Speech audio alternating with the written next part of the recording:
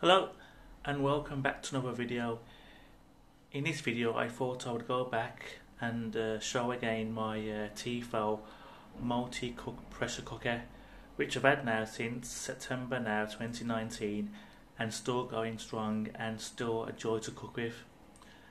I've had many people come over to visit me and they've had a look at the cooker themselves and they're actually impressed with what uh, it can do and uh, really pleased with how it's uh, been cooking the food which I've been preparing for him.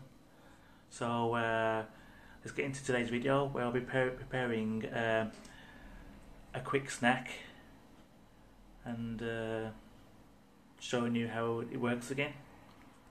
So again, we've got the steam release button here to release the steam once the food's cooked and uh, we've got the handle that turns and uh, those are some of the things it can do but as you can see in my other video I did uh, attach to it uh, a cheat sheet for pressure cooking.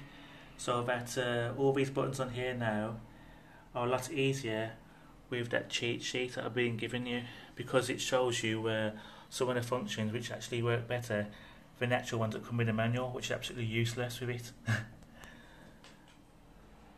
So uh, so we'll look inside you get your uh, plastic cup to put water in, spatula,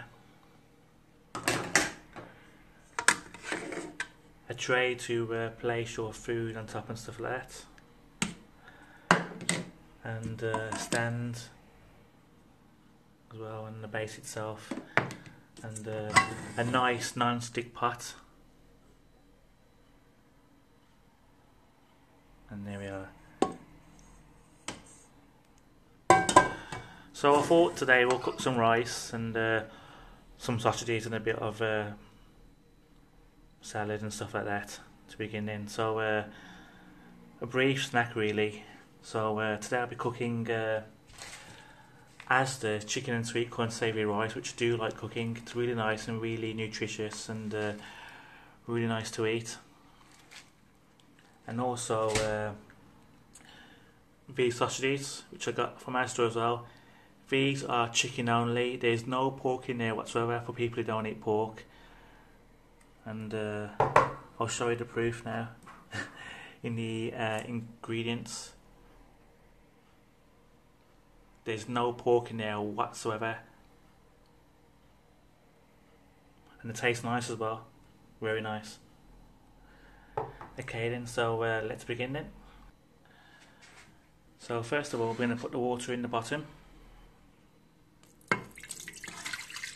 That.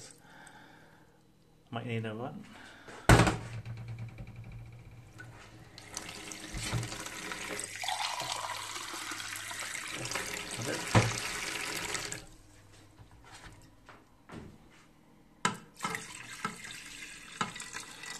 There we go.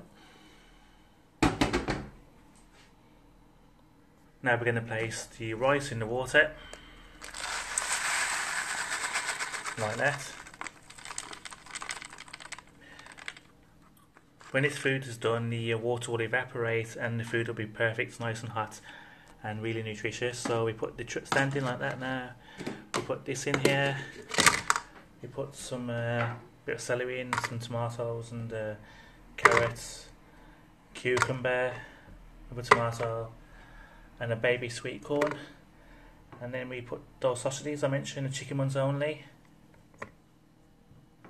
like this.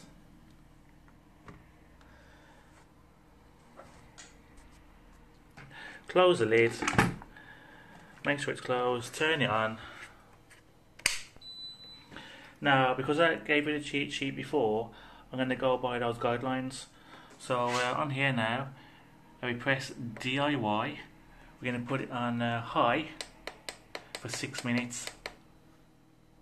And then we're going to press uh, cook. And that rotates now, so it's going to cook the food. And then we'll come back now to our finished product of delicious, nutritious food. So we'll come back to that in, uh, in about 10 to 15 minutes.